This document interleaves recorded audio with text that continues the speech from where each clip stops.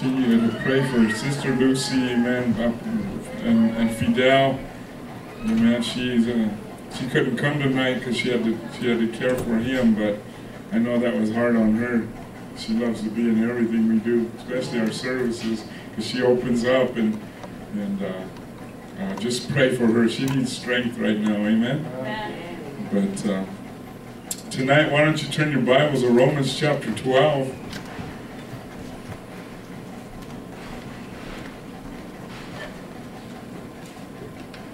Romans chapter 12.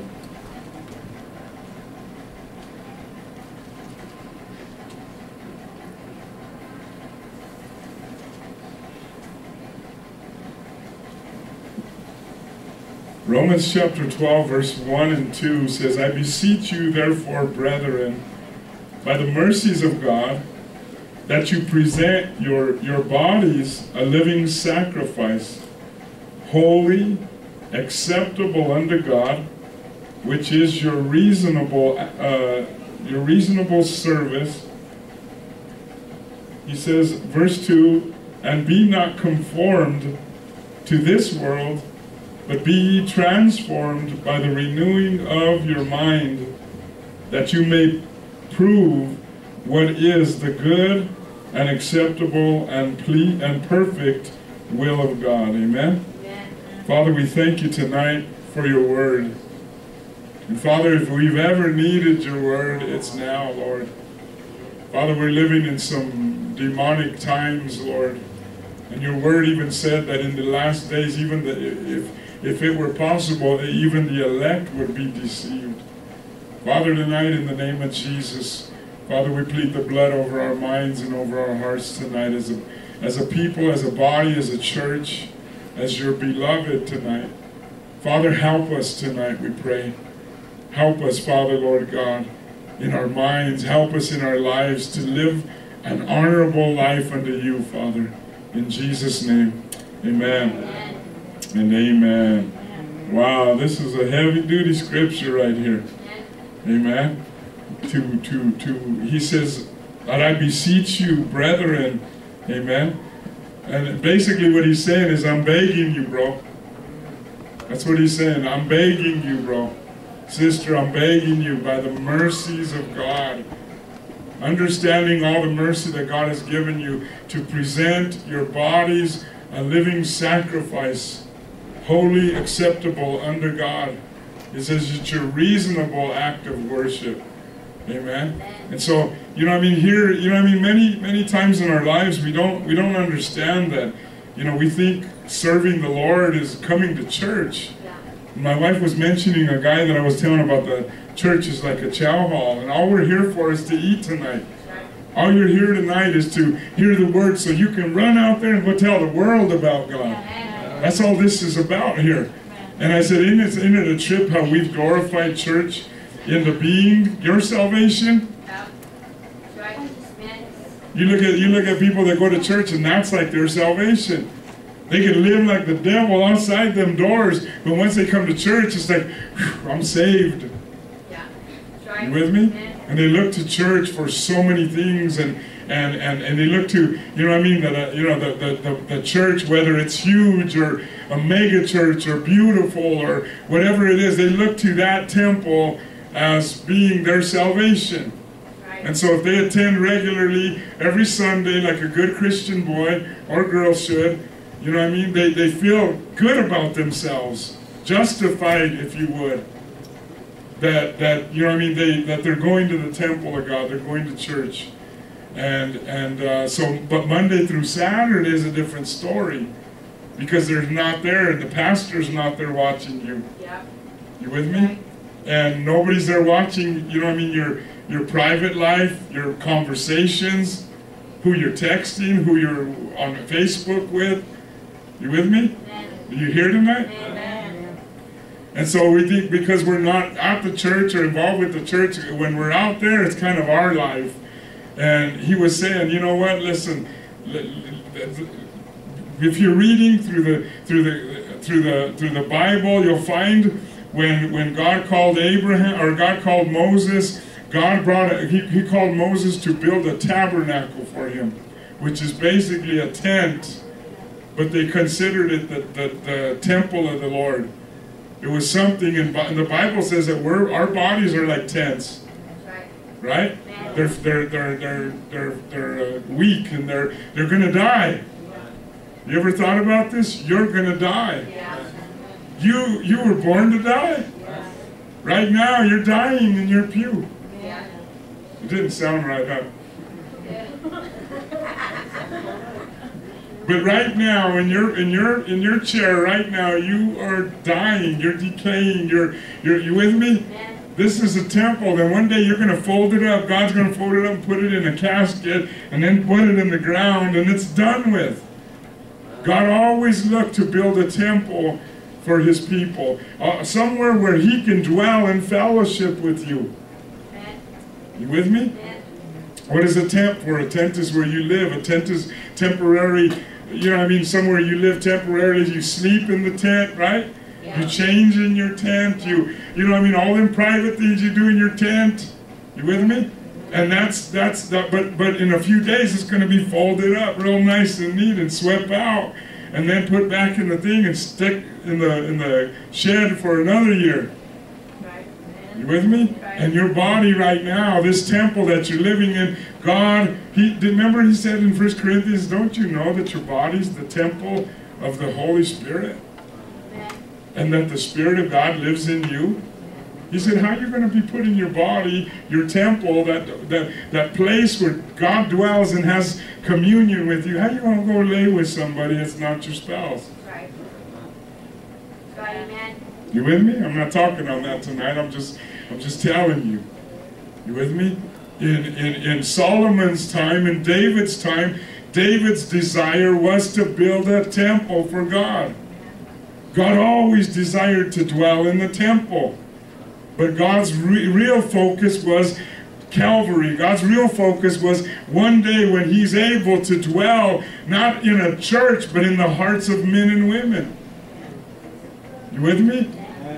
And he and, and he he tells us here in, in Romans 12, 1, to he said, I beg you, brother, if you haven't heard anything, hear this. I beseech you, I beg you, present he said, uh, uh, present your bodies as a living sacrifice, holy and acceptable unto God. Why? Because you're the temple of the Holy Spirit. And the Spirit of God lives on the inside of you. You with me? So if you're really a Christian, then then this is this is like just a chow hall. This is a building of, of wood and, and, and mortar and and and and, and uh, you with me? Yeah.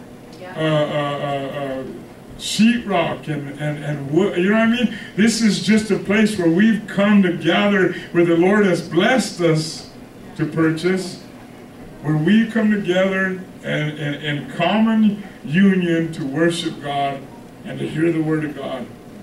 But once you walk out this building, you take the Holy Spirit with you. Right. You with me? And you go out there into your lives, and whatever you put in front of your eyes, whatever you put in your ears, and that includes your music too. Listen to me good. You can't honor God. We're talking about backing that thing up and dropping it like it's hot.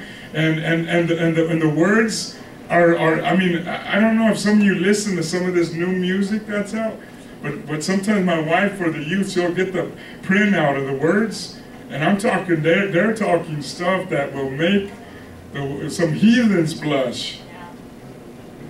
You with me? I mean they're they're graphic, they're they're pornographic in their words. And they just put some beats to it, and our kids are walking around jamming like that. And maybe even some of you. You put it on 89.5, the rev. And you're listening to a bunch of stuff that's terror. It's, I mean, would you put the Holy Spirit those earphones on? You know what I mean? And, and yet, you know what I mean? You do that every time every time you listen to that because because you know what I mean you're putting that junk in your in your spirit in your in your heart and the Holy Spirit's right there like turn it off man I don't want to hear that the Bible says that there's a war inside of, of humans with, with the Holy Spirit and with, your, with uh, your spirit, you know what I mean? That it, it's always at war because your spirit is your flesh. You, you just want to do whatever you want to do. Yeah. You with me? But the Holy Spirit wants you to do what God wants you to do. And you're in constant turmoil in your heart. We were talking about that the other night in men's. It's a battle raging on the inside of you. And somebody asked a guy one time, well, you know, who had two pit bulls who were mean fighters and killers. You know what I mean? The same size, same look. They both had killed many, many other dogs in fights and stuff. And, and, and, and, and they asked the owner, well, have you ever fought them? And he said, well, no. He goes, well, which one do you think will win? Speaking of the spirit and the soul, you know what I mean? He says, well, whatever one I feed the most. Yeah, right. Who's going to win in your life tonight? Right. Whatever one you feed the most. Think about it. How, how, how much time do you give in yourself in prayer? How much time do you pray? Don't answer that out loud. But how much time do you spend in the Word of God, reading and studying for yourself? You with me? Something that's, you know what I mean? I, I praise God for, we got a bunch of them back there too, the daily breads. You guys are welcome to take one of those and, and, and read them daily. Every morning, read that thing with your cup of coffee or, or your Mountain Dew and donut, whatever it is. But read that Word of God. Get it on the inside of you. You with me? But but but how much time do you give? How long does that take some of you to read a daily bread? Brother Manuel, how long does it take you to read it? Just that real quick. Maybe three minutes? You know what I mean? So three minutes of your life, if you if that's all you do, uh, just one day, you know, and you give two hours to TV, how much time do you give? Have you noticed yourself? I was telling the guys the other day, just messing around, but I was saying, look at look at us. We're addicted. We're addicted, not to crack or heroin or cocaine or drugs or alcohol, but to our telephones. Yeah. How much time do you spend on that phone? Time yourself and look at it and see how much time a day you're on that phone. That's right. Some of us are addicted to our telephones. You don't even know it. How many of you see people walking around like that? They're texting, not even watching where they're going, bumping into stuff, or, or, or you know what I mean, or driving. How many of you drive and text? You know that's illegal to do that? You know you can kill somebody doing that? That's worse than dr- drinking and driving. With me? Because you're not paying attention and you're in your right mind. What takes you just a few seconds here to send will, will kill somebody. You with me? And we're, we're, how much time you spend on that thing or, or, or, or given to Facebook? How much time do you Facebook every day? Right. How, how long are you on there? An hour? Eight hours? Could you imagine if you focused your time on praying and reading your Bible for eight hours? You with me? Yeah. Amen. Right. Could you imagine if you prayed an hour a day? Yeah. Every day? Amen. And you read your Bible an hour a day? Every day? And then you got up and you went out walking. You went out, if you're not working or whatever, and you, you go out and you just walk and, and, and ask God, God, lead me to the right person. Have a handful of flyers. You with me? Could you imagine if you gave your time to that? Versus sitting there caught, locked up in your house on Facebook or, or Twittering or, or whatever they call that? You with me? All that stuff or, or television? You with me? Or surfing the, the web? Even if it is Craigslist or whatever, you know what I mean, on there every day for an hour or two? Looking and searching and all this stuff. Could you imagine if you gave that time to the Lord and said, you know what, gee, what Pastor was saying, I ought to listen. You with me? Amen. Could you imagine how much, uh, you know, if you if you spend time in not only studying the Word but reading and and, and, and books uh, of, of great men and women of God who who maybe give you, I mean, because the ladies are doing a new book now. This is a little uh, advertisement, but but the ladies on Wednesday nights are doing a book called Beauty for Ashes by. Joyce Myers. For those of you ladies that aren't going to the women's, It's a powerful book. My wife said we had an awesome time in the Word uh, Wednesday night. You know what I mean? But could you imagine instead of staying home watching TV or doing whatever it is you did, go, to actually go to women's for that two hours or whatever and, and put that into your spirit? Some of you got, I, you know what I mean? I don't really understand what the book's about, but, but I think it's dealing with your past, Yeah. right? Emotional bondage. Stuff that had happened in your past and stuff.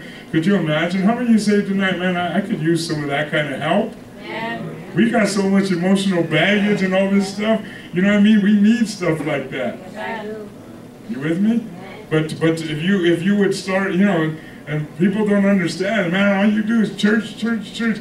Do you realize how messed up you were? Yeah. If you just take a moment and just think and just say, man, look at who I was. And, and, and now, you know what I mean, that, you know, even if it is two hours at women's or whatever, you're, you're putting the word of God. You used to be in the club, how long? Used to be from house party to house party, from, from this guy's house to that guy's house, and all this, and how much hours you spent satisfying and gratifying your flesh. You with me?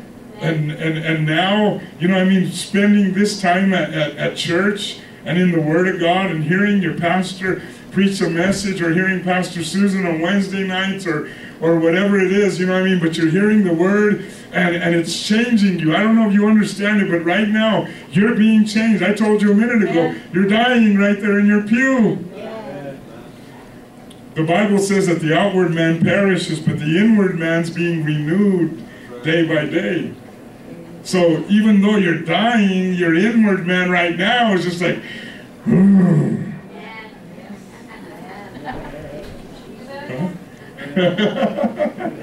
huh? You're being you're strengthened right now. You're being renewed. You know what I mean? You're you're hearing the word of God, and you're hearing you you know what I mean. And and you're you're gonna go away from this. And every time whatsoever a man or a woman sows, that shall they also reap. And that has to do with the good too. It's not just a bad thing, as we think of bad, right? Oh yeah, ooh, you know. But do you ever think of good? That whatever you're reaping, whatever you're sowing right now, you're hearing the word, you're listening to it, it's changing you. Even if it takes you 10 years to change, it's changing you. Come on now. Maybe some of you are discouraged today and you say, man, I don't, I'm not changing fast enough. According to whose schedule? To God, and one day is as a thousand years, and a thousand years is as one day to Him. So some of you haven't even been saved couple seconds to God. One second, a twinkling of an eye, you've been saved. And we're like, gee, I ain't changed. I feel like a dirty dirt bag, and, and man, you know what I mean? I might as well go drink. And sometimes we even put those um, conditions on each other. You're not changing fast enough. You with me? And, and, and, and, some are changing too fast. I don't think you can change too fast. Amen? But, but needless to say, we need to change. God has put His Holy Spirit inside of you. And He said, Grieve not the Spirit of God. Grieve not, grieve ye not the Holy Spirit of God. That means sadden. Have you ever got sad, bad news made you sad? Yeah. Maybe they call and say, hey man, listen, your, your kid just got suspended, or hey, this person you love has just been in an accident. What happens? You're sad, your heart gets sad. You know what I mean? And that's the way the Holy Spirit feels every time we live for the flesh. You with me? He's inside of you like cringing every time you cuss. You with me? Going la la la la la la la la. huh? I don't want to hear that trash. You with me? We were just talking about it. What did you say, brother? Ephesians 4.29? Let no corrupt communication proceed out of your mouth, but that which is edifying, that it may minister grace unto the hearer. Don't let nothing come out of your mouth you wouldn't want Jesus to hear. Yet how many of us, you know what I mean, we still, that little tongue of yours, my goodness. Yeah. Well, I'm not at church. You with me? I'm at home. Huh? So this way, you know what I mean? It doesn't matter if the Broncos get a, lose a, a fumble and they lose the game, and there you are cussing, oh all mad because of a dumb football game. Come on now, or whatever it is. Well, you wouldn't do that at church, though, and if you would, I'd rebuke you to your face. You with me? So why would you do it at home? Don't you know you're the temple of the Spirit of God? Don't you know that He's supposed to live inside of your heart? I asked you the other day, how many of you claim to be Christians? And uh, most of you lifted your hand. Some of you didn't. You with me? But if you did, the, the Bible says the Spirit of God came to live in with, live inside of you. You with me? And he's talking to us here. He said, I'm be, I beg you, bro, by the mercies of God, by all the mercy that God has ever done for you, because hasn't He done great things for you? Some of you shouldn't even be alive tonight. Yeah. You should have died in that accident. You should have died in that overdose. You, you with me? Maybe some of you should have died at birth. And God allowed you to live, and because of His great mercy, you're here today. And we have a tendency to, our attention span's worse than the Royal Rangers. Yeah. We, for you know, and it's not for you know, I mean, what we're doing, because man, uh, some of you are the greatest workers in the world.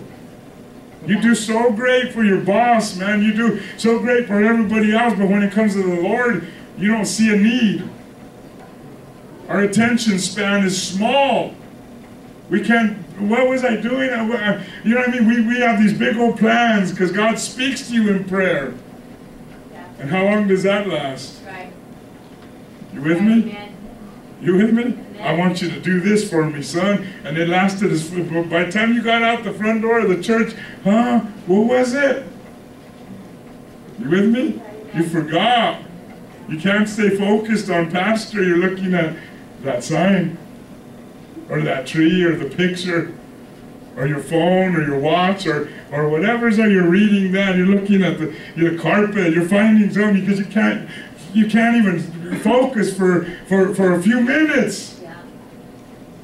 Right. You with me? And we've forgotten what God has done for us. I try and remind you. I try and remind you every service. Hey man, you ought to you thank God you're in church tonight. Some of you literally ought to be in prison. Yeah. Right. We've had people in our church that should have been in prison for, for, for a lot of stuff. You with me? Amen. You ever heard of anybody ever, you know, I mean, you see some of these men that are considered sex offenders, and, and, and what happens is they just had an affair or, or fondled or, or had sex with a woman who was under 18. Let's say she's 17. But in the States, eyes are considered a sex offender. You with me? Amen. But, but, but, I mean, there's been people in our church who have had affairs with, with teenagers. They should have been in prison tonight. And, and God's merciful. Amen. Some of you, if you would have gotten caught. One of our cousins one time, there, uh, uh, uh, somebody was telling me they went to a party and the cousin was over there trying to trying to, to, to be with a 13 year old. And this person had to smack him upside the head and tell him, "What are you doing, bro? That's jailbait." We don't think of stuff like that because we're walking in the flesh. You with me? Amen. You, and you've forgotten all those times that God got you out of your trouble. You with me? How God brought you out and how His great mercy forgave you. Ain't that cool? That you know what I mean? We were talking about it earlier about sin and doing stuff like that. And you know what? I really don't believe it, Brother Manny. I don't believe that. That God's gonna sit there, bro, and He's gonna be with every little thing, be like, you know what you did, you know what I mean? Punish him. I really don't think that. Especially if you repented of your sin. Because as far as God's concerned in 1 John 1 9, he said, if, on the condition that you confess your sin, he's faithful and just to forgive us of our sins and cleanse us from some unrighteousness. From what? Oh, all unrighteousness? Why? Because we repented?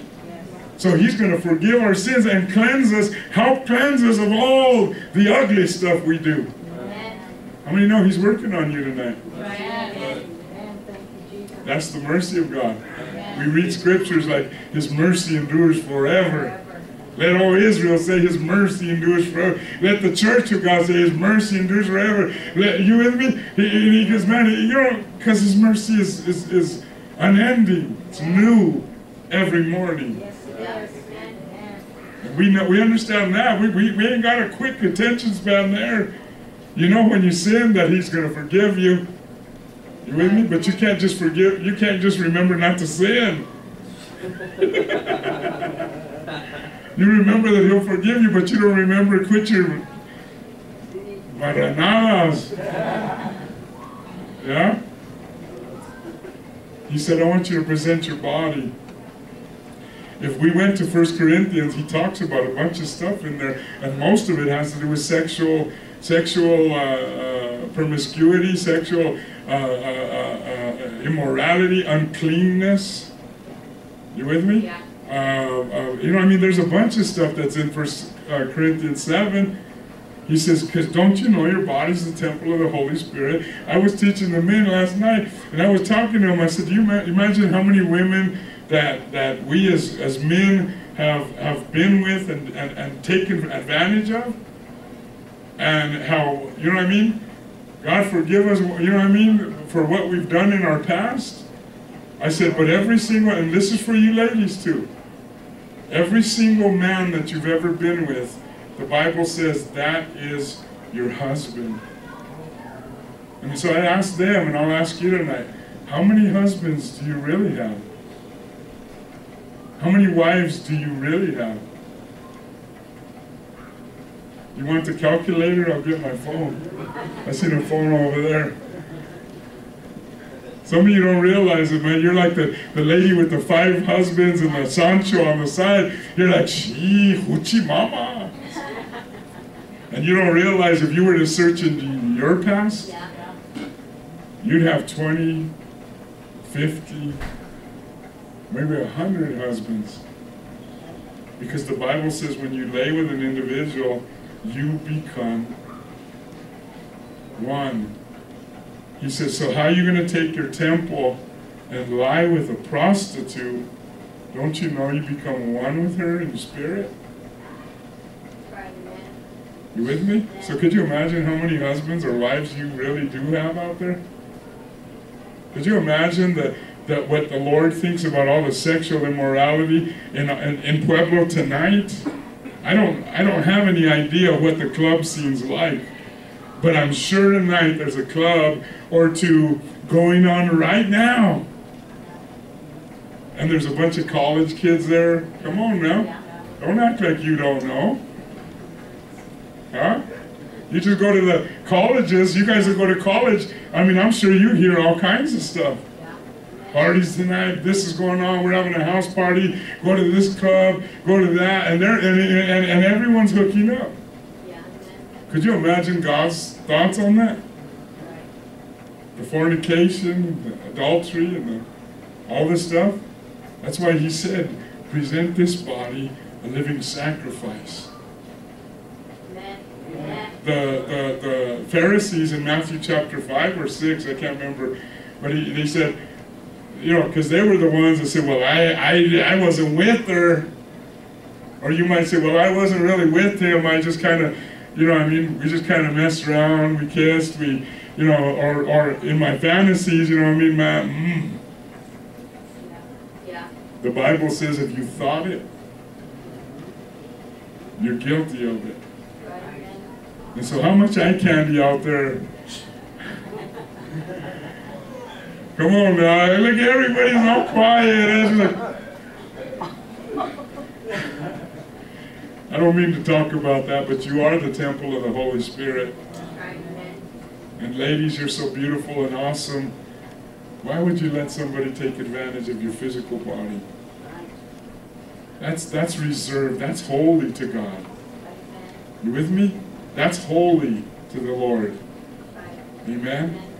What, what, you know what I mean? I was remembering uh, T.D. Jakes teaching on worship, and, and he said, he, he called this, and I don't really know, you know I mean, nothing about it, but he said that there's something in a virgin that down there, hymen or some wall or something that when it's broken, the, the woman bleeds and no longer a virgin. You know what I'm saying? Yeah. But it was it was it was literally that thing was taken from the word same word as we use hymns, H Y M M, and what meant when you break through in worship and you're in the presence of God, how holy that is. That's what God says. That's holy right there. And when somebody is there, you with me? It's in the spirit realm like worship unto God. That's why the Lord, He's the one that created that. But in marriage, that's why it's so sacred, it's honorable. 1 Corinthians 13 says marriage is honorable to the Lord.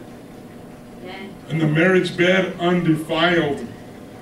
You with me? But whoremongers and prostitutes I will judge, says the Lord. That's why it's so holy that, you know what I mean? And it's like, why, you know what I mean? I understand we're human, but this is where it comes in. You got to guard your heart. You got to ask God, God, help me control myself. You with me? Because it's something that's sacred, something that's holy to God. And if some guy comes around and just like, hey, what's up, girl? You know, hey, let me Facebook you. What's your number? And pretty soon he's in your bed. God's like, what in the world are you doing? Your body's holy to me.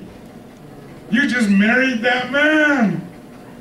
And every spirit and every attitude and every anger problem and every woman he's ever been with has now just entered into your spirit. Yeah. And unless you repent, you'll never be the same again. Just from one encounter. Could you imagine how many encounters them, that other churches had? That's why God said it's so holy. I beg you, I plead with you. He said, present your bodies a living sacrifice. Holy. Holy, my wife said Sunday night. Be ye holy, for I, the Lord, am holy. You with me? He said, and, and, and, and, and, and it's an acceptable act of worship. It's something that's not too hard for you to do, is what he said. Then he goes into verse 2. He said, We're out of verse 1. Go ahead. And be not conformed. I don't know if the NIV says it any longer to this world or to this culture. Amen? But I'm going to show you what conform means. Be not conformed. Conform means to comply. Comply with rules. You with me? Comply with rules, means, um, oh, comply with rules, standards, or laws. That's what conform means. It also means to obey, follow, to keep. So no longer obey, follow, and keep the patterns of this world. It also means to be similar to be similar or identical, to be in agreement with, to be in agreement with, to be obedient or com- or compli- or compliant, to be obedient or compliant and it also means, lastly, to act in accordance with um, prevailing standards or customs. In the Greek, to conform, it, it, it meant, it, it came from the Greek word, um, well, no, no, no, this is not it. Greek, it meant to be fashioned like. Don't be fashioned like.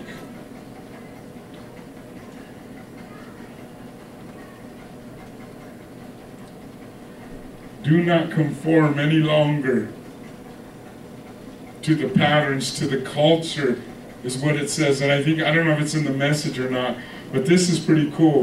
Be not conformed or don't obey or don't be like these people out here. Even if they're Christians. How many you know Christians that drink? How many you know Christians that smoke? How many you know Christians that get high? How many you know Christians that go clubbing? How many you know Christians that are doing things they shouldn't do with opposite sex? He's saying, I don't care if they, can, can, if they, they say that they're a Christian. I don't care what church they go to. Don't follow their, their, their example. You with me? Because obviously, tonight we could say, wow, we're not going to go do what the world does. But it's funny how you get these Christian friends you got, and you're ready to conform to what they're doing. Yeah. Because they, they claim they're a Christian. The Bible tells you not to believe every spirit, but to test the spirit, try it, and see if they're people of God. Come on now. If you're trying to live a holy life and hanging around with a bunch of turkeys, you with me? And turkeys are them wannabe Christians or sheep's and wolves in sheep's clothing. You with me? And you're hanging with them, talking to them, getting their ideas, hearing their philosophy, hearing their teachings and what they believe about what your pastor was talking about. You with me? You'll be doing exactly what they're doing. You'll be probably doing it with them. You with me? Listen, I've never really had an example to look up to, you know, other than our pastors or people like that. But I've never really had, you know, I mean, anybody to, to kind of like tell me what I'm telling you. I had to learn all this stuff on my own. Everything that I ever teach you, everything that I'm telling you, we've learned on our own. And you know who our teacher was? We did have a teacher. You know who it was? It was the Spirit of the living God. He said that anointing, that unction on the inside of you will teach you everything you need to know. Are some of you cold? Anybody? You can say yeah. Go ahead and shut that off, please, somebody.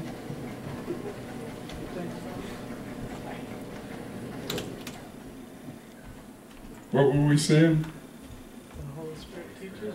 The Holy Spirit was our teacher. We didn't have a lot of, we kind of had, some of our churches we went to were just kind of like show up on Sunday and, and, and, and, and hey, it's all good. We had to pu- push our way in. We had to force our way in. You know what I mean? We had to make things happen. We made prayer up. Our pastors didn't even pray. We had to make prayer up.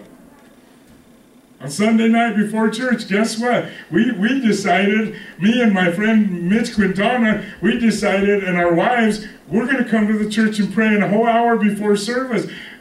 I hadn't even known Pastor Ray then. Do you think Pastor Ray invented prayer? No. I mean, no, Pastor Ray just, he was taught by the Holy Spirit. Amen. You with me?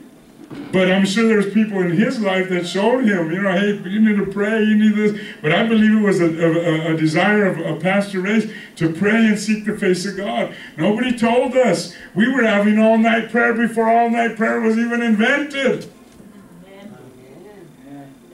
We would go, we would worship God, we would pray, we'd seek His face, we'd put some music on, we'd stay at that altar all night long.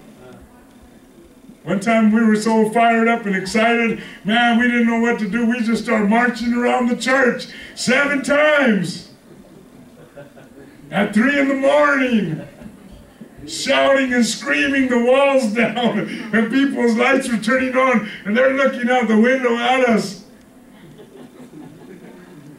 Because the Holy Spirit was leading us and guiding us and saying, Seek my face, and your face, God, will I seek, my spirit said.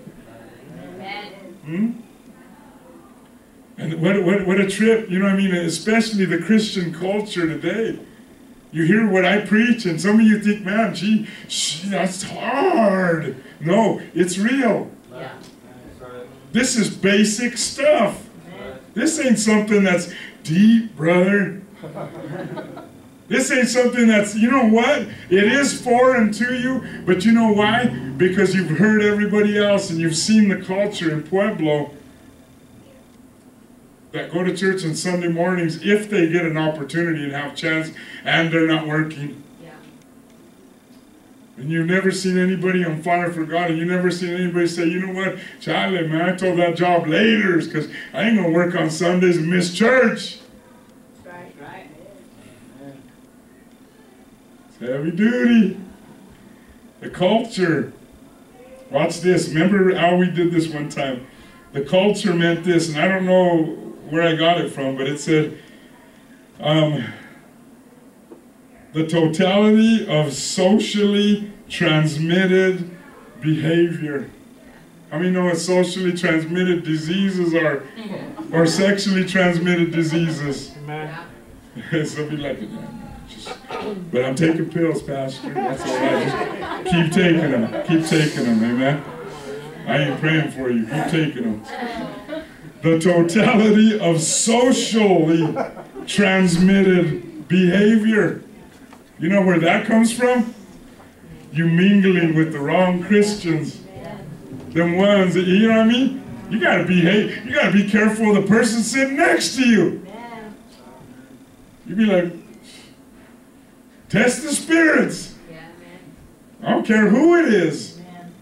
Test the spirits. Are they going to socially give you an STD? STB? Socially transmitted behavior? Are you going to become like they are? Are you going to become like God is? You with me? He said, don't conform any longer to the patterns of this world. You with me? Socially transmitted behavior, patterns, acts, beliefs. Amen. Um, it, it, initiations or no instructions and all other um, practices of, of humans the culture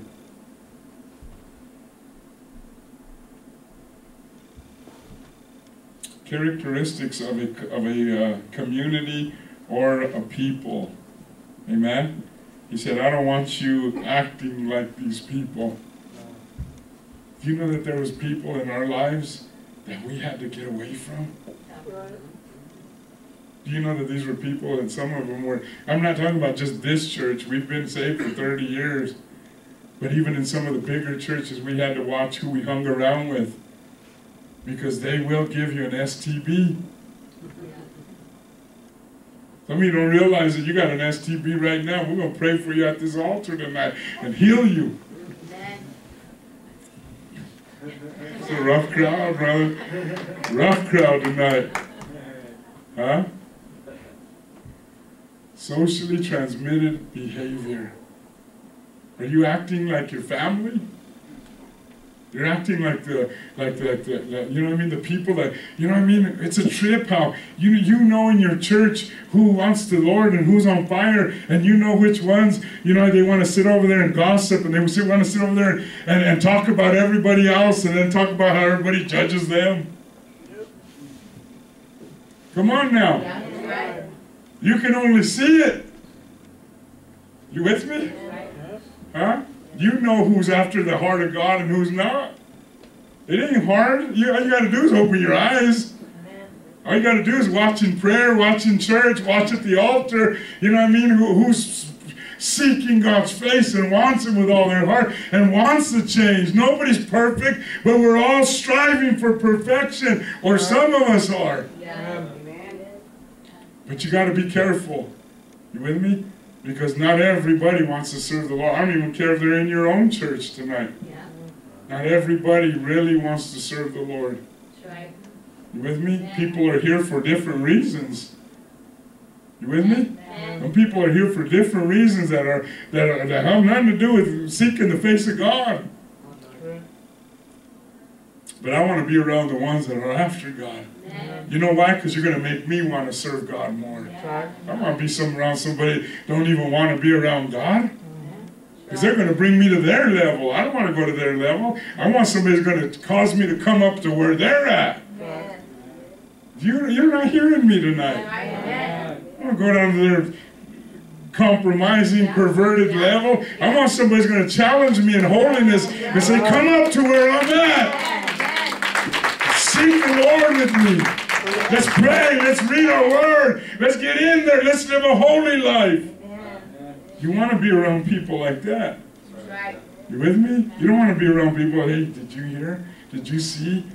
Did you, did you notice what she was wearing? Ooh, gee, how short that was. But you can't even see your own self in the Yeah. mirror. That's, the, that's what trips me out. Yeah. You with me? If our eyes were on Jesus, you wouldn't be no- noticing what she's wearing. Amen.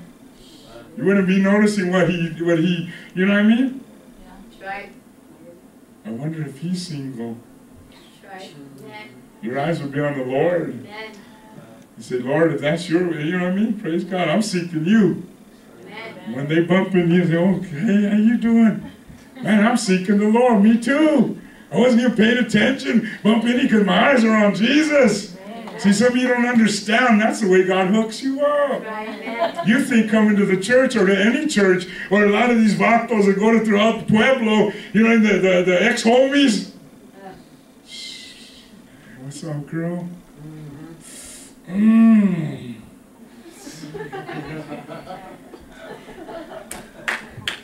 And you ladies fall for it. Yeah. That's what trips me out. Yeah. It's not that these idiots are walking around trying to scheme and get in your jeans. This is some of you are playing the game. Yeah. And some of you are like, what? Oh man, didn't you see him? He had his hands raised in worship. Oh man, he's he, he you know what I mean? Right. He went to the home. He he is he, you know what I mean? He was he was this you know this and that, but now he said he's a Christian. Okay, so let's undress. You know, you know what's a trip is I, wanted to tell you this the other day and I forgot, but but I, God just reminded me of it. But it's it's of a woman who who who was a pastor, single. She was uh, working in the church. She was a pastor, and she had a job delivering. Uh, I don't know something, uh, office supplies or stuff like that. And uh, you know how you know you know how it is. You kind of go here, go there, but you notice certain individuals. Don't act like you don't. Yeah. And you kind of have a tendency. Well, I want to go by this building again, because for work, you know. You know why you're there. Yeah. You know what's up. You know how you feel when you see him. And she went to this certain office supply place or this business or whatever, and, and, and it was clo- closing hours. And this individual happened to be there by himself. And I don't know what happened. I don't know how it happened because she just took the stuff in by the, you know, in the in the copy room. And the door happened to shut. And before you know it, all her clothes were off.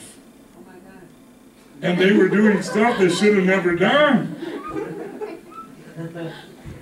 And it was just like, I don't know, Lord. They just, it must have been Jesus because I thought the rapture, the clothes just came off.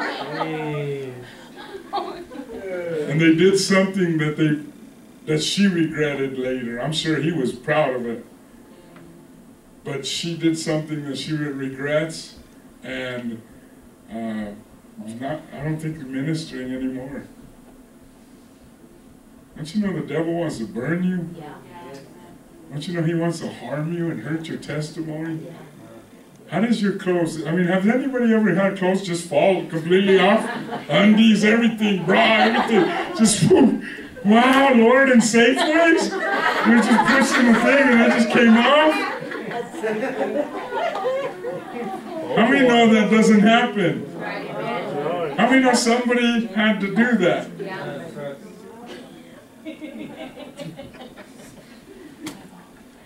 He said in verse 1, present your body living sacrifice. Pastor Ray had a guy in his church about a few years ago that said his ministry was servicing the ladies. That was his gift. Pastor Ray told me you better take your gift to get out of my church. But he said it was his ministry. Some of us would have said, Oh, really? Amen, brother. Well, it depends on what he looks like, right?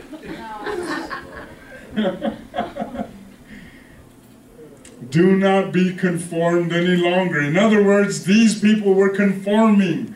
They were being obedient to, they were following the rules of certain individuals. And Paul told him, don't do it no more. Ain't God good? God's merciful, even as a Christian. You with me? Even as a Christian, I'm telling you today, majority of people have done stuff they're ashamed of. You with me? And look back and say, God, what was I thinking? I remember somebody, I don't remember who it was, but the the the the the, the thought was, how did I get here where I'm at today? Have you ever been there? You ever been in somewhere you say, how in the world did I get here? One brother called me one morning and he was he wasn't repentful, that's for sure. I don't know why he called me before church. But he was laying in bed with a woman he had just been with all night. They were kind of giggling and talking to me. Saying, hey, Pastor, I'm not going to be in church, and blah, blah, blah. And guess what? I sinned, and she's right here, and I can hear her laughing and stuff. And I thought to myself, my God, have mercy on their souls. I would have, I mean, if you, if you do something like that, don't run to me and tell me, you know what I mean? Or call me when you're in the midst of it. Come see me Monday. Yeah. If you're if you're repentful, yeah. if you're not, then don't come. Just stay doing your sin. But when you church, when you when you make a decision to repent and come back to the Lord, I'll be right here waiting for you. And that individual, I don't know whatever happened. I don't remember who it was. I just remember the calls. Like how, I mean, uh, could you imagine calling your pastor? I mean, call anybody. You know, I would have never done that. He said, don't conform any longer to the patterns of this world. That's what everybody's doing. But not you, Right. or not me. Right. I don't want to do that stuff. You with me? And He said, but be ye transformed, changed, changed, metamorphosis. That's the Greek word for it. Metamorphosis, metamorphosize, metasizo or something, but it means metamorphosis, which is a change, right? The caterpillar, that ugly, hairy, nasty thing, crawling all gross and hairy, and gets into some a ball and begins to weave a cocoon around it. Yeah. And within a, within I don't know how long it took. I studied it one time, but but a few weeks maybe or a month or something, that thing comes out. It's a butterfly, beautiful, most beautiful thing you've ever seen. Yeah. You with me? But see, that's the salvation process. That's the transformation process right there. You come in all jacked up. And can I tell you this? There's a process in your change. We all want to be butterflies flying, ministering, and helping others, but the fact is, is it takes time. What, what should have taken the children of Israel 11 days to walk took them 40 years and they still didn't get it right. And most of them died in the wilderness. You with me? We don't want to be like that. You with me? We want to be we, we want to be transformed. We want to be changed. The thing is, is that some of you say, well, I was saved over here. I was saved a year ago. I was saved five years ago. And you know what I mean? And, and you think in your mind that you're good. You think in your mind that you're perfect. And the thing is, your mind needs to be renewed. Because you can be sitting here tonight in church Yeah. in body form.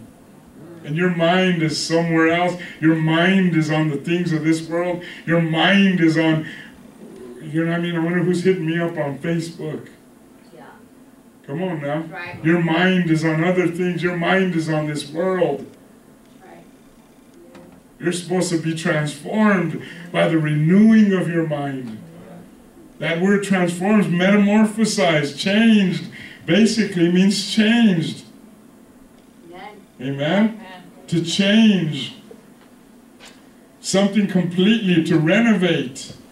You know what renovation is? I was watching a show just before church called Fixer Uppers or something on Channel 24, and they go in and they take these nasty houses, brother. They bought it for like 10 grand, this Yeah. big old ugly, nasty looking house. I mean, it had rats or squirrels and all this stuff living in it. It stunk. It was gross.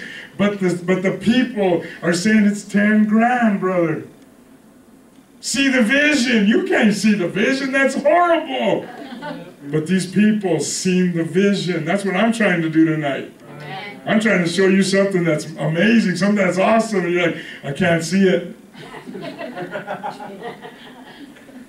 I'm trying to tell you of what you could be, not what you are right now. Amen. What God wants to do in you, because see, God sees you a finished product. Yes, he does. You with me? God don't see you like you is now. Come on now. We know God hates ugly. And sometimes our hearts are real ugly. That's it trips me out, brother. People think, man, you know, they're man, they're so good, they're saved now, and all this stuff, and, and and you don't even realize, you know what I mean? Your heart is deceitful and desperately wicked, and you be like, I have a good heart. God knows my heart. Yeah, God's like, pew, you stink. You're worse than Lazarus. Let me renew you. Let me restore you. Let me revive you. Let me bring you out of that, that death you're in. Because we, you know what I mean? Our minds are all jacked up. And it's not just from the drugs we did and this and that. It's from the even the way you were raised. Think of all your family members. Think of what they taught you. People that you know and love. Our, our mothers, our fathers, our grandparents, our uncles and aunties, people around our lives. Look at all the stuff. Some of them harmed you. Some of them turned you out before you were of age. Yeah. But they said, I love you. Yeah.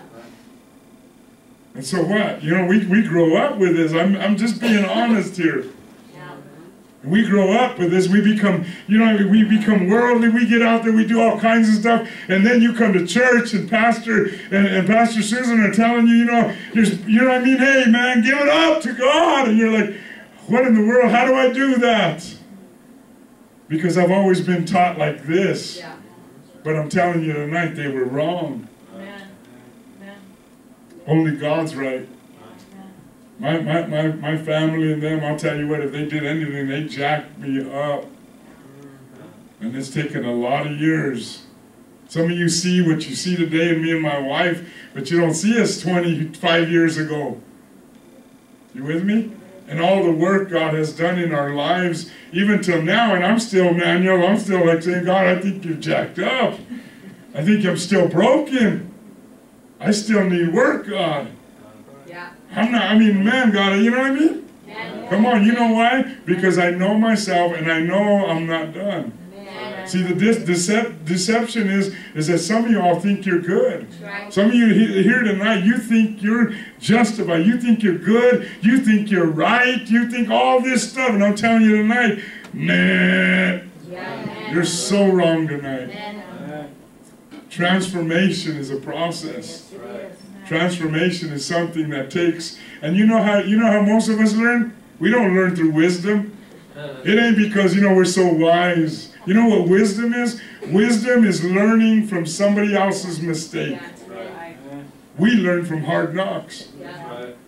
School of hard knocks. You ever heard that? We learn like the man that went out and I, I told the story and if I can remember where he went out and he and he goes down this old like say a Chicago street at night, you know what I mean? And he's going down the street and he falls into a hole.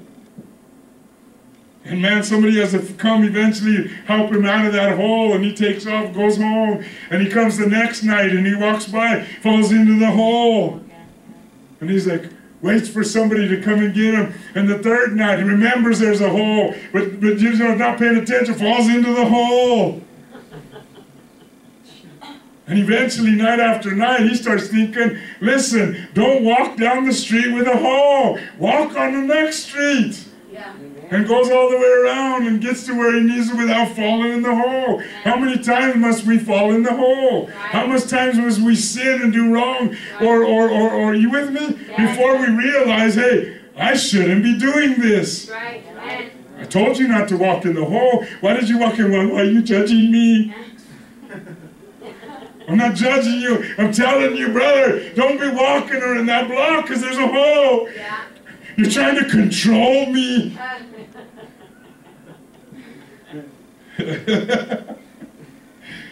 Guys are a trip. Eh?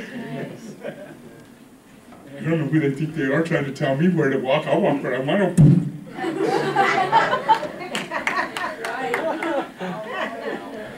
And guess who they call pastor? Mm. You're in the hole again. Come here. Get out. I thought I told you. I know you told me, but I just. Don't go that way no more. All right. Mm, Pastor. Oh, dear Lord. I'm in the hole. Eventually, though, eventually there's hope for you. Because eventually you're going to get it. yeah. I don't know how many times you're going to fall in that hole, but eventually you're going to say, huh, let me walk, instead of going through 4th, let me walk through 5th Street. Because there's no holes there. Right. You with me? And, and wisdom says, you know what? I, there's construction signs, and there's always signs, church. Yeah. There's always signs. Sometimes your pastor will be preaching, and I'll say something to you, and it's a road sign. It says, hey, right lane merging ahead. You watch it, you know what I mean? Or detour ahead or something. You're like, and you're just like, uh, "Shh, probably talking about me. Instead of realizing it and taking heed and saying, maybe I better get in the left lane and and because because Pastor was saying, and you know, the Spirit of God spoke to me and and, and he told me, but then I, I I went in the right lane and hit the thing. I wasn't paying attention. When are you going to start paying attention? You with me? Amen. We need to hear. There's warning signs. People, your children will tell you. Somebody will tell you, my God, it'll be on a poster board. Something saying something. How many warnings have some of you gotten in your life? How many times have you heard messages I preach, but you didn't hear the messages that I preached? They were warnings to you. Yeah. There's a hole up ahead. You with me? And it's like, man, you fell in that hole a million times. And we can't say it's wisdom that, that, that, that took us out. The Bible says it in Proverbs, men, especially if you want wisdom, get into the book of Proverbs and read it. It'll give you wisdom, it'll give you knowledge, it'll give you understanding. He says, Beware of that chick.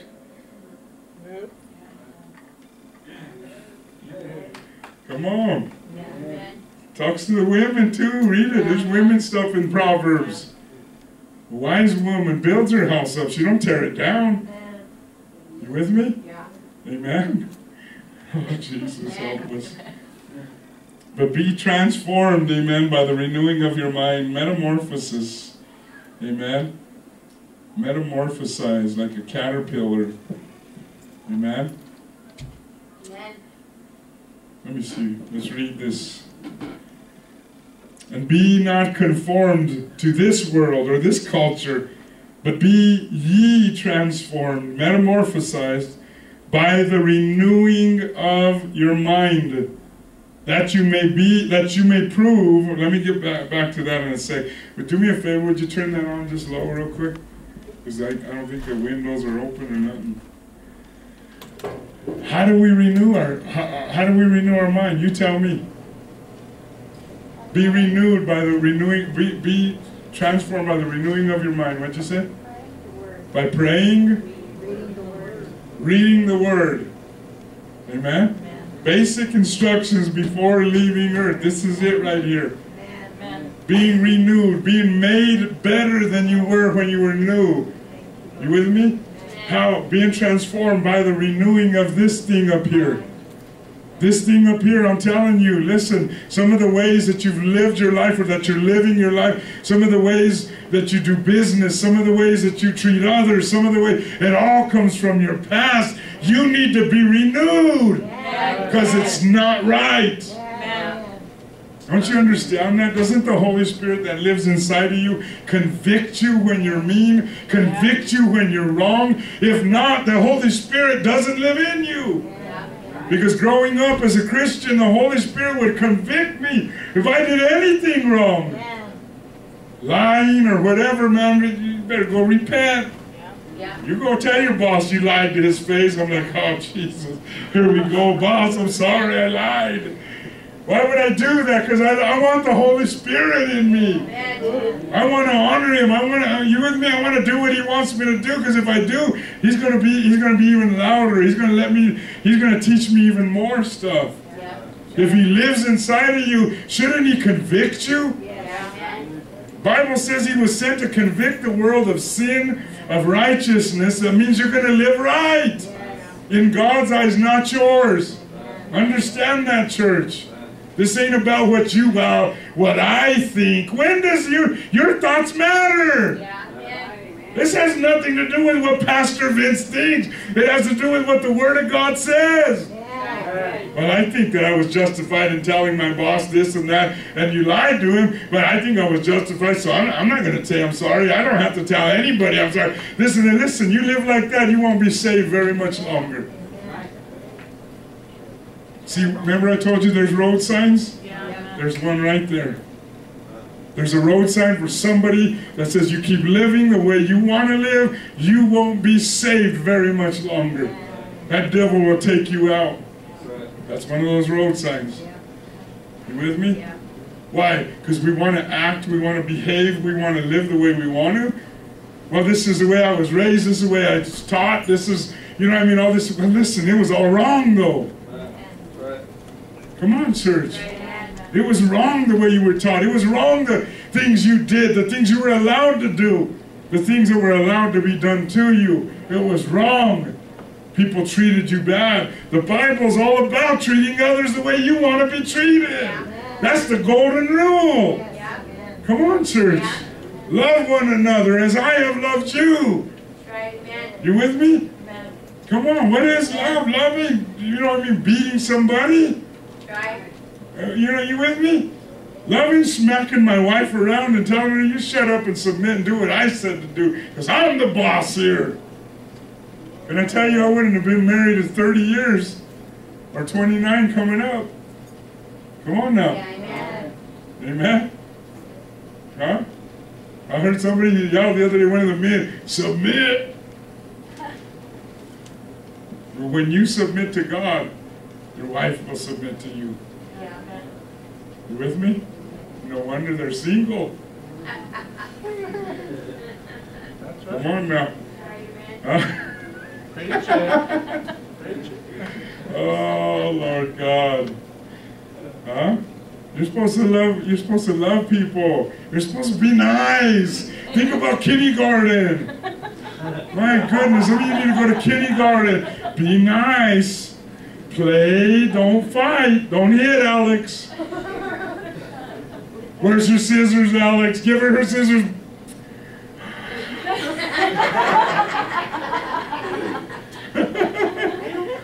I don't have them, I promise. Let me search you. There's the scissors. Uh, lies. Come on now. And God's like, I, I don't like liars. You with me? Look at some of the things God hates. Some of you, your pictures are in there. oh, Lord. Huh? Hate what God hates, love what God loves. Amen? But I mean, if the, if the, the Holy Spirit lives inside of you, Galatians 5.22 is going to function out of you. It's going to flow. Love. You love people. We love the unlovable. Amen. Come on now. That's hard to do. Huh? Loving somebody that doesn't deserve your love, that's hard to do. Right. But that's what God commands us to do. Amen. Come on now. Amen. You guys got to love your pastors whether we whether we rebuke you or not. Amen. Come on now. Amen. Huh? Whether we tell you the truth or not, you're commanded by God to love your pastors. Where? Show me. It says love your enemies. And your pastors at times are your enemies.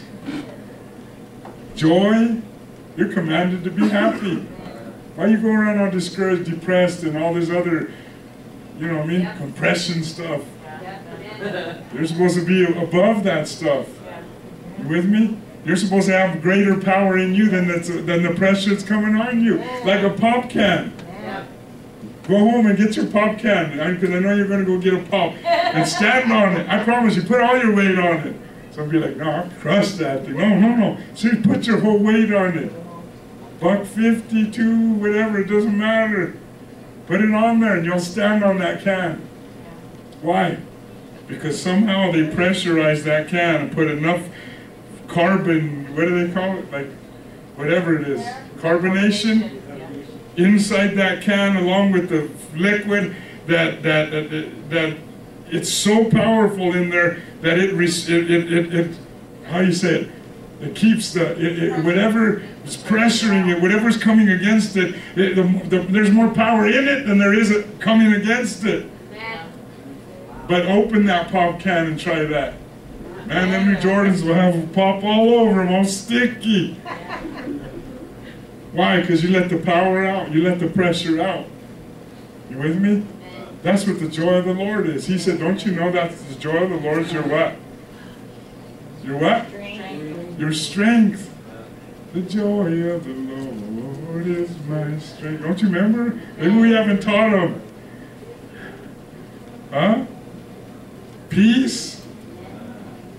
Well, you know what I mean? Come on now. Peace of God inside your heart, no matter what happens. Call you emergency, say this person passed away, call that person was in a wreck, this and that. Man, Pastor walks around in the peace of God with you. Hey, this person who come, they man, they busted him with some man, really? Well, wait till they call. They had an affair, they're getting divorced, they're this and that, and they praise the Lord. Amen. Praise God. I'm not there walking the floors at night. I don't know what I'm going to do with these people. I'm...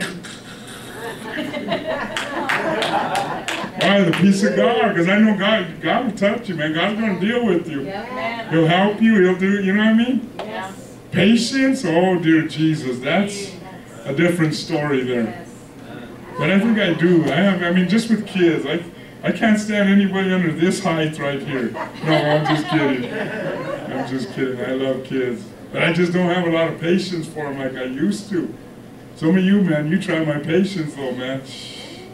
That's heavy, but I still love you. I'm not, I'm not, I'm not going anywhere. Huh? Amen? Kindness, goodness, gentleness, faithfulness. Amen? Self control. Amen. Amen? These things ought to live inside of you. If the Holy Spirit is living in you, these things ought to come out of you. You with me? Remember, you know what I mean? And don't use this as an excuse, but it is a process. The Holy Spirit, if you allow Him to, if you allow Him to, He'll produce these things in your life. Because some of us, we produce 19 through 21 in Galatians chapter 5. Yeah. The works of the flesh. Go look it up. See, well, what are they? Go look it up. But the Word of God is what renews our mind. To renew means to renovate or renovation, to make something new, fresh, amen, or strong again. To make new again your mind, your attitude, your thought process, amen, your outlook on life, your beliefs, make them new. How many know your attitude determines your altitude? Amen. Your outlook on life, your outlook on anything. Yeah.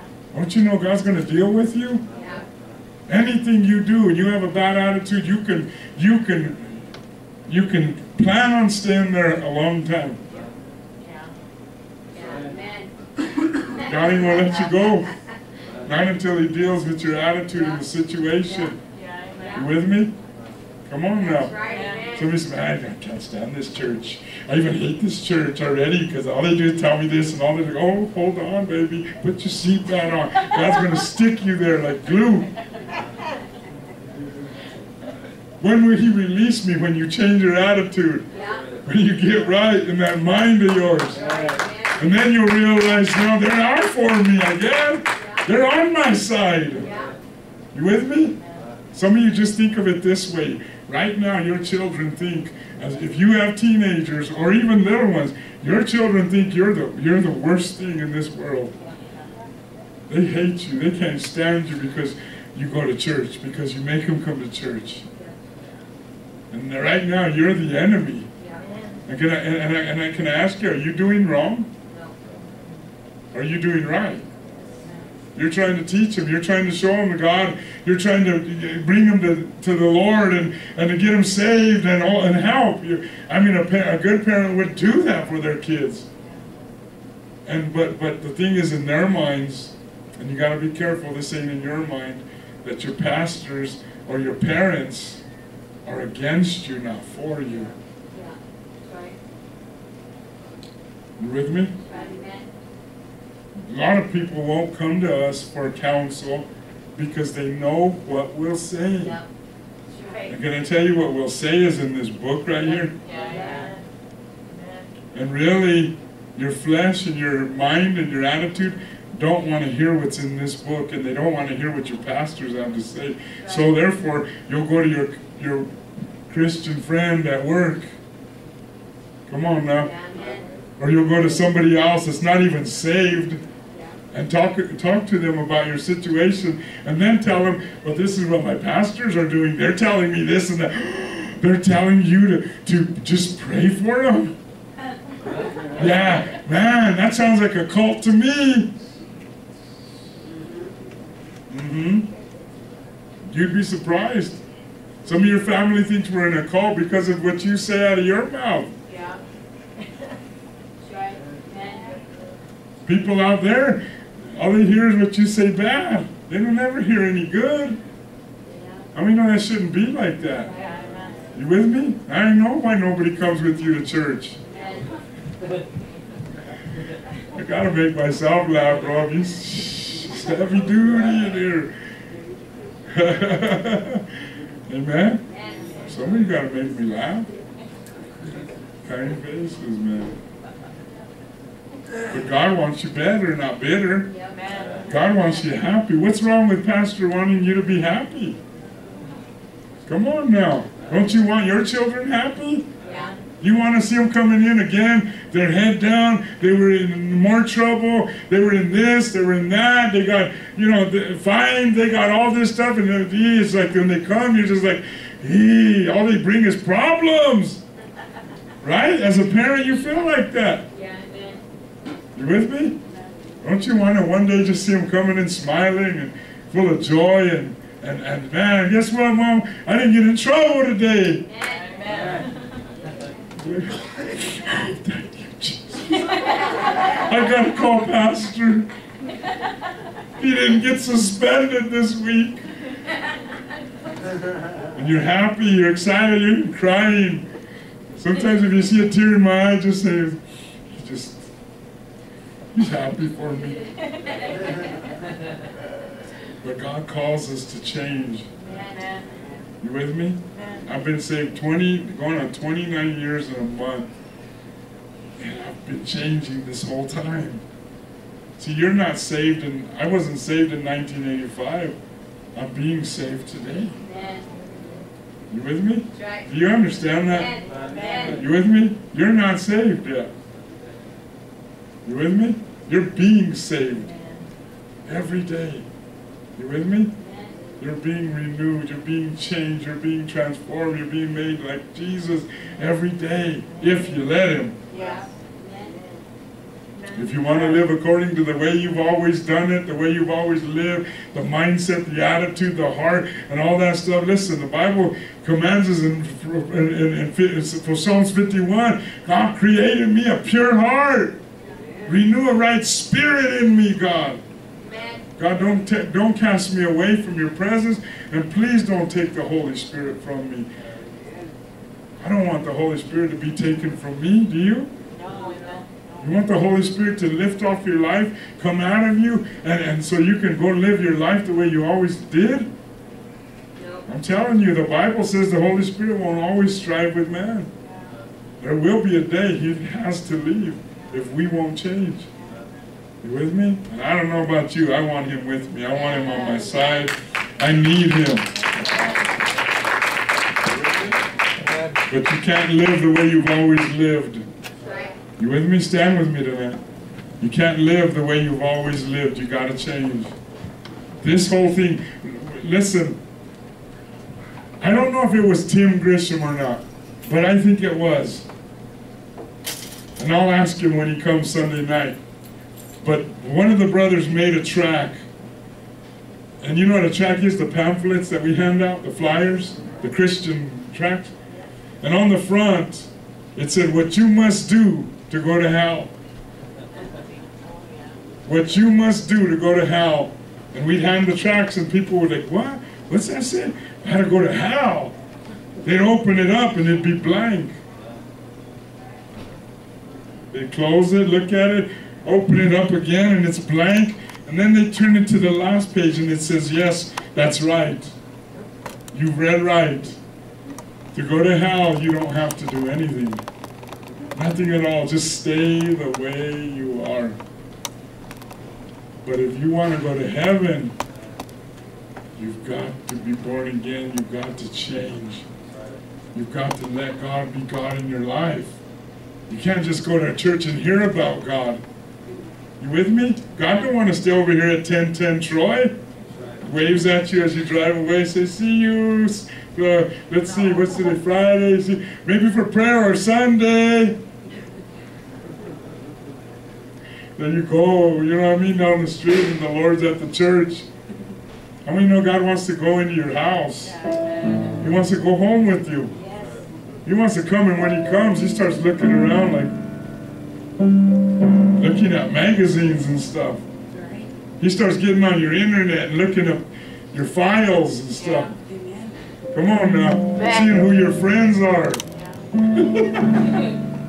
That's heavy duty. Who's your friends on Facebook? He said, if you're a friend of the world, you'll be an enemy of God. Come on now. They better all be Christian on there talking about scripture. Jesus loves you. Amen. We're waiting for the rapture. Come on now. But if you see Bob Marley on there smoking a joint, come on now. Tupac and everybody else and and and and, and uh, Lady Gaga and, and, and, and, you know all that junk on there and, and, and all these people hitting you up talking about what's up girl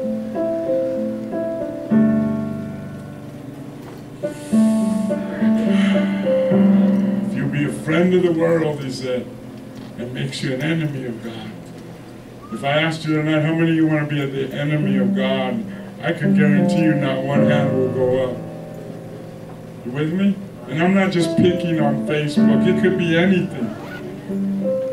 You with me? I want to be that. I want to be a friend of God, man. I want to be doing what God called me to do. I want to be changing. I want to be. You with me? I have to hear the same word I preach. I'm not standing up here in judgment pointing a finger at you. I hear the same word I preach. I, I hear the same word you hear. And I have to abide by the same rules you do. You with me? And if I have to abide by them and I'm the pastor of the church, I'm going to always be preaching to you. Listen, we've got to abide by the rules, church. We've got to listen. We've got to read this. We've got to change. Come on now. We can't stay the same. Amen.